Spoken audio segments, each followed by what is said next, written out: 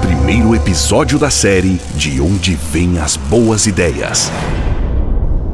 Para termos uma ideia de onde vem uma boa ideia, visitamos agências de propaganda catarinenses em busca de testemunhas.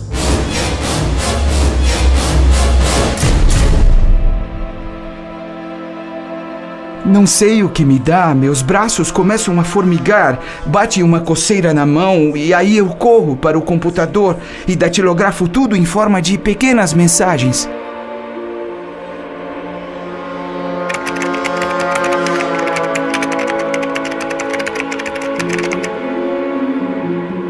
O espírito criativo é brincalhão e gosta de debochar de quem precisa dele. Costuma baixar em ambientes bem ventilados e com espaço para que a energia possa fluir livremente.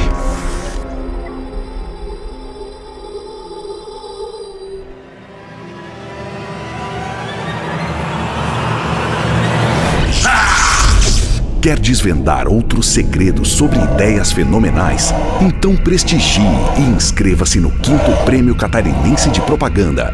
Acesse www.poderdasideias.com.br e mostre do que você é capaz.